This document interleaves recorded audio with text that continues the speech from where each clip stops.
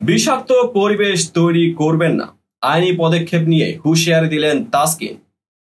বেশ কয়েকদিন ধরেই বাংলাদেশ ক্রিকেট আঙ্গনে চলছে তাসকিনের টিম বাস নিয়ে নানা আলোচনা সমালোচনা, যেখানে জানা গিয়েছিল ইন্ডিয়ার বিপক্ষে টিম বাস ধরতে না পারায় তিনি দল থেকে ছিটকে যান। তবে গতকাল সাকিবও দিয়েছেন নিজের ব্যাখ্যা।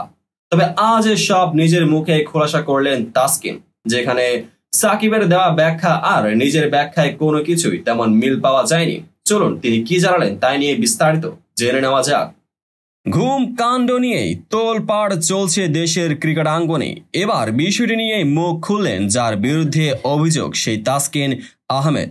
সুপার এইটে ভারতের বিপক্ষে গুরুত্বপূর্ণ ম্যাচের আগেই আসলে কি হয়েছিল? কেন টিম বাস মিস করেছেন? কেনই বা একাদশে ছিলেন না?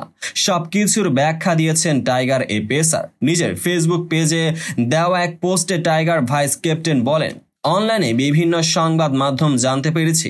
সম্প্রতি শেষ হওয়া টি টোয়েন্টি বিশ্বকাপের একটি ঘটনা নিয়ে অনেক হইচই করা হচ্ছে। প্রথমত আমি সবাইকে জানাতে চাই যে বেশিরভাগ সংবাদ এবং তথ্য যা ছড়ানো হচ্ছে তা কেবল গুজব এবং আমি আশা করি ভক্তরা এটি সেভাবেই দেখবেন।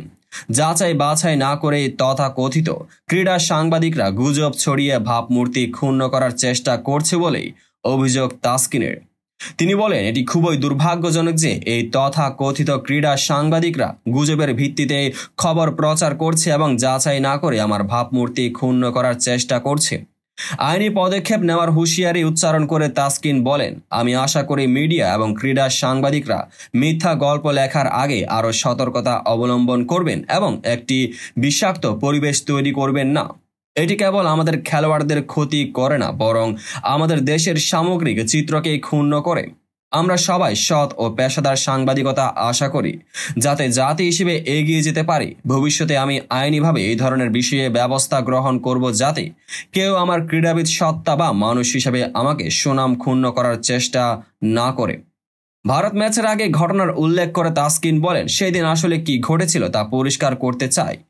আমি স্বীকার করি যে আমি স্বাভাবিকের চেয়ে পরে ঘুম থেকে উঠেছি এবং এর জন্য আমি ইতিমধ্যে পুরো দল এবং ম্যানেজমেন্টের কাছে ক্ষমা চেয়েছি। আমি সকাল আটটা সাঁত্রিশে উঠেছিলাম এবং আটটা তেতাল্লিশে লবিতে গিয়েছিলাম এবং আমার রাইড প্রস্তুত হওয়ার সাথে সাথে আমি সকাল নয়টায় এই হোটেল ছেড়েছি। আমি সকাল নয়টা চল্লিশে স্টেডিয়ামে প্রবেশ করেছি। ম্যাচের টস হওয়ার বিশ মিনিট আগেই।